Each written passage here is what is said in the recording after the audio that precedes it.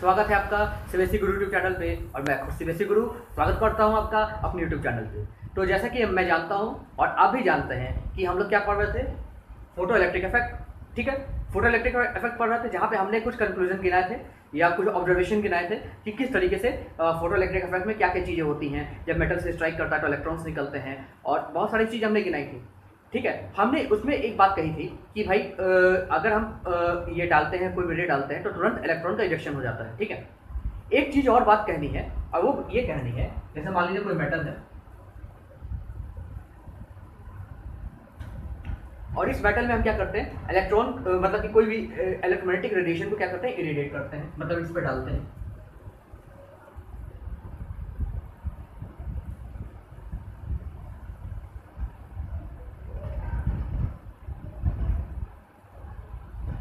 तो किसी पार्ट तो जो इलेक्ट्रोमैग्नेटिक रेडिएशन है, जैसे ब्लैक बॉडी है, वो हर फ्रीक्वेंसी को एक्सेप्ट करता है और हर फ्रीक्वेंसी को क्या करता है? मेरा एमिट करता है, ठीक है? इसी तरह ये, अगर फ़ोटो इलेक्ट्रिक इफ़ेक्ट की बात करें तो इसमें ऐसा नहीं होता है। हर फ्रीक्वेंसी को, हर फ्रीक्वेंसी के गिरने पे इलेक्ट्रॉन का इजेक्शन नहीं होता। और ये भी हम जानते हैं कि जैसे मैंने कल बताया था इंटेंसिटी इंटेंसिटी यानी एनर्जी पैकेट्स अगर ये बढ़ता है तो नंबर ऑफ़ इलेक्ट्रॉन्स का निकलना बढ़ जाता है। जब फ्रीक्वेंसी बढ़ता है तो काइनेटिक एनर्जी बढ़ती है उतनी तेज़ी से निकलता है, ठीक है? और ये जानिए कि एक ऐसी फ्रीक्वेंसी होती है, हर फ्रीक्वेंसी पे इलेक्ट्रॉन्स नहीं निकलते हैं, ठीक है? इलेक्ट्रॉन जितनी ज़्यादा हम फ्रीक्वेंसी से रे डालेंगे इलेक्ट्रोमैग्नेटिक रेडिएशन डालेंगे, उतनी स्पीड से निकलेगा मेरा इलेक्ट्रॉन लेकिन अगर कुछ ऐसी फ्रीक्वेंसी होती है, जिसपे इलेक्ट्रॉन की स्पीड बहुत कम होती है इलेक्ट्रॉन निकलता ही नहीं है मेटल से, ठीक है? तो एक, जैसे हम अब ये जानते हैं कि रॉकेट को स्पेस में जाने के लिए 11.2 किलोमीटर पर सेकंड की स्पीड चाहिए। अगर उससे कम की स्पीड रहेगी तो जो अर्थ की ऑर्बिट है उसको छोड़ नहीं पाएगी। लेकिन अगर उसको छोड़ना है तो 11.2 किलोमीटर पर सेकंड की स्पीड चाहिए। उसी तरीके से इस मेटल में अगर मेटल के सरफेस को छोड़ना है और इलेक्ट्रॉन्स का एमिशन तुरंत होना है, जैसे ही रे उस पर जाए तो हमें कुछ मिनिमम फ्रीक्वेंसी तय करनी पड़ेगी कि उस फ्रीक्वेंसी से अगर मेरी रे की फ्रीक्वेंसी इलेक्ट्रोमैग्नेटिक रेडिएशन की फ्रीक्वेंसी ज़्यादा होती है तो मेरा इलेक्ट्रॉन का एमिशन होगा। वही चीज़ मैं कर रहा हूँ। ठीक है? तो लेट अस सपोज़ कि वो मिनिमम फ्रीक्वेंसी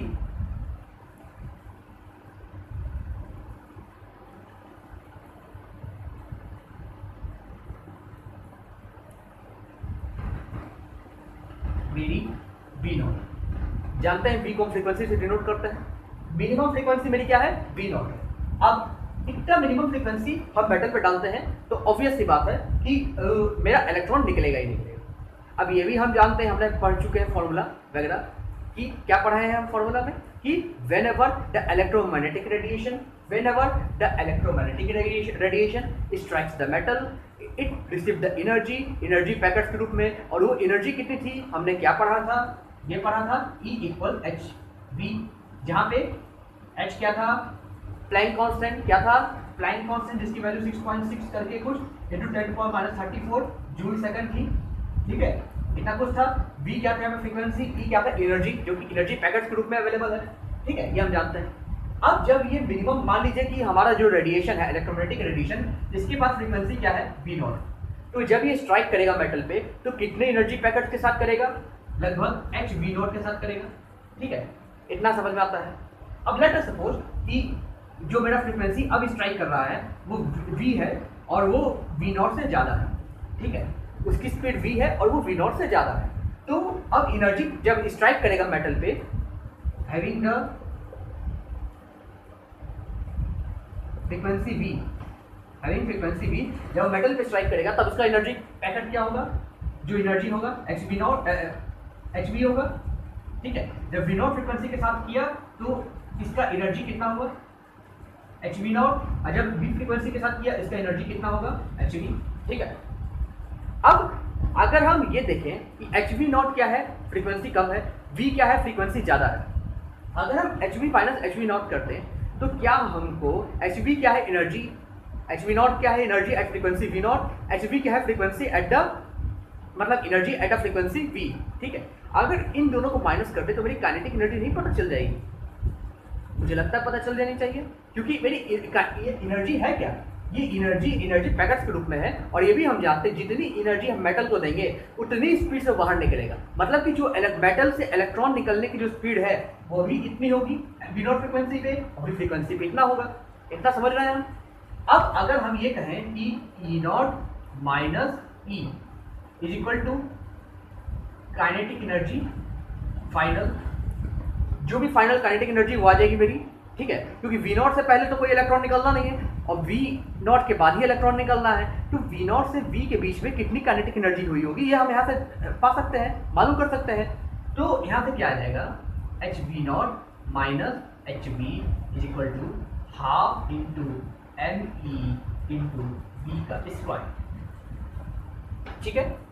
अब यहाँ पे v अलग है और ये v अलग है। इसको हम क्या कर देते हैं? वी एस से डिनोट कर देते हैं। और जो फ्रीक्वेंसी वाला बी है वो बी ही आएगा। अब थोड़ा सा ध्यान देने की ज़रूरत है।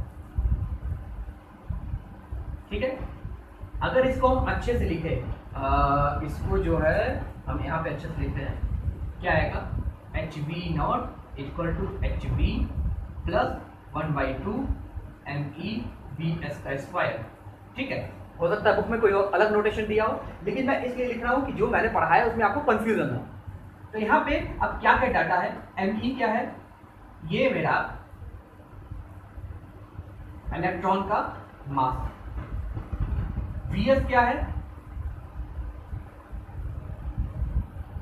स्पीड ऑफ़ इलेक्ट्रॉन ये मेरा काइनेटिक एनर्जी को रिप्रेजेंट करता है। हमने फिजिक्स में पढ़ा हुआ है।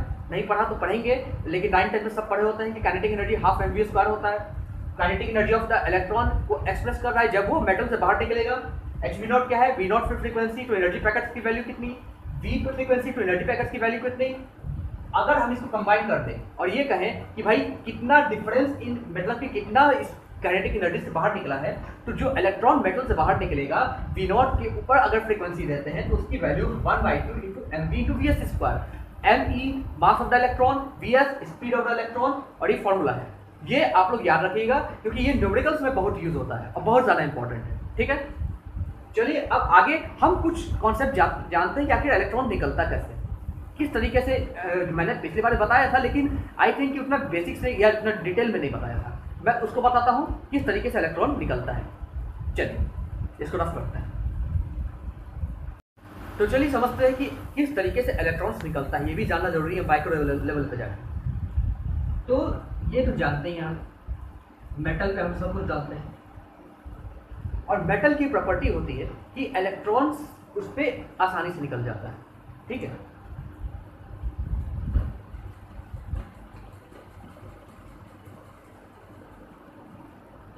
ठीक है तभी ना हम ये मेटल्स को ही, चाहे एल्यूमिनियम हो, चाहे कॉपर हो, ये सब मेटल्स ही हैं। ये सबको हम वायर भी क्यों यूज़ करते हैं? क्योंकि जैसे हम सप्लाई दें, अचानक इलेक्ट्रिसिटी मतलब कि अचानक नहीं मतलब सडन इलेक्ट्रिसिटी निकल जाए। सडन इलेक्ट्रॉन निकलेगा, तभी करंट फ्लो करेगा, तभी इलेक्ट्रिसिटी बहे। ठीक है? तो अब क्या करना है कि अब इसको माइक्रो लेवल पर समझते हैं। मेटल में होता क्या है? मेटल में, ऐसा समझिए इसको कि इस पर जो है मेटल पे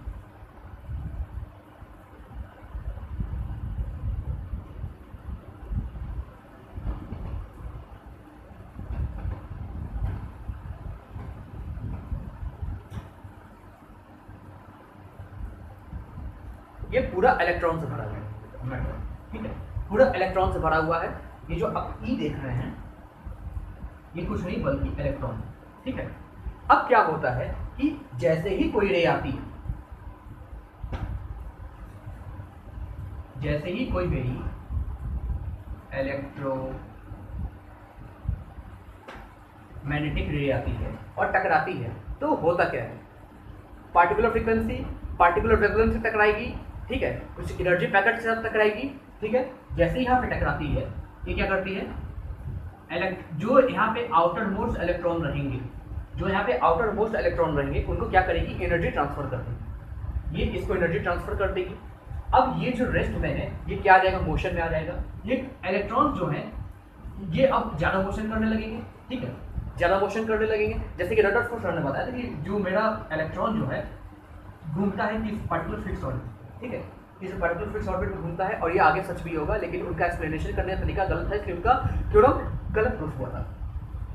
लेकिन इलेक्ट्रॉन मान लीजिए कि घूमता है ऑर्बिट में तो जैसे ही इसको एनर्जी मिली तो इसके पास एनर्जी आ जाएगी, ठीक है? और ये, और क्या करेगा? वाइब्रेट करने लगेगा, और वाइब्रेट कर करके जितना एनर्जी आएगी, उतना ज़्यादा वाइब्रेट कर करके उतना तेज़ी से घूमने लगेगा, ठीक है?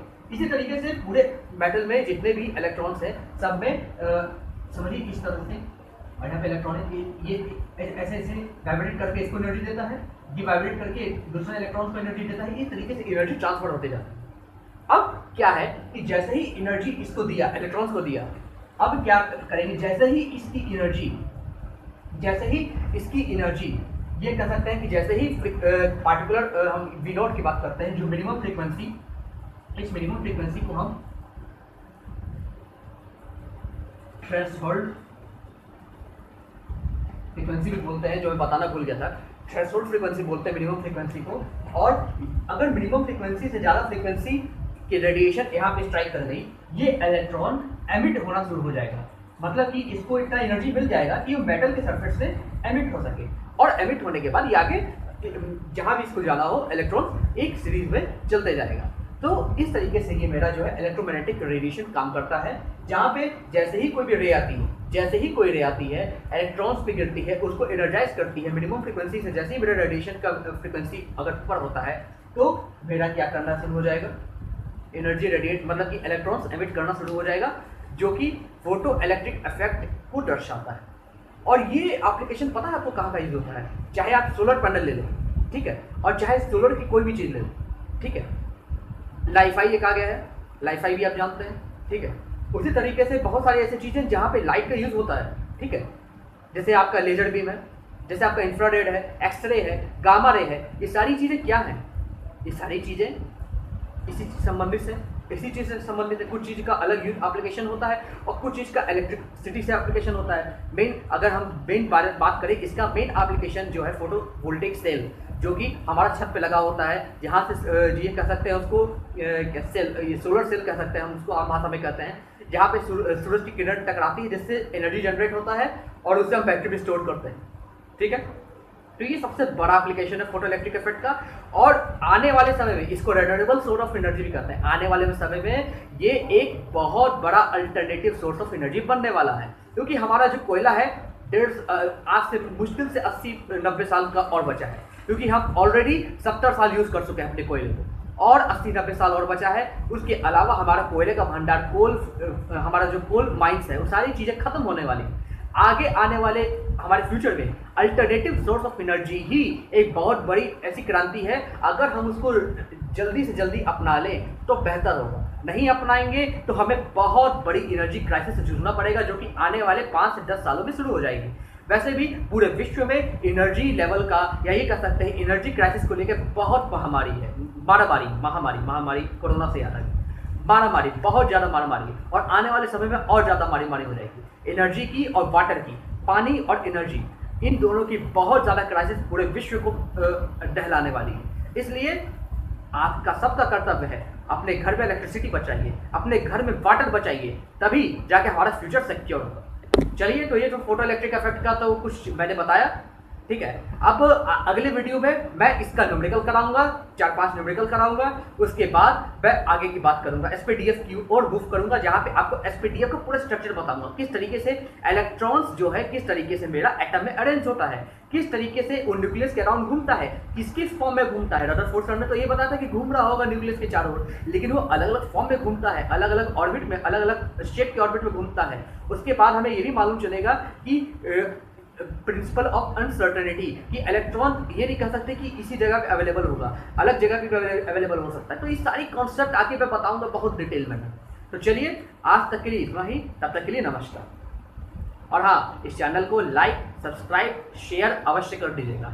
जितना आप करेंगे उतना बेहतर है क्योंकि उतने तरीके से, उतने अच्छे तरीके से मैं आप सभी का कॉन्सेप्ट क्लियर करता हूँ। चलिए, तब तक के लिए नमस्कार।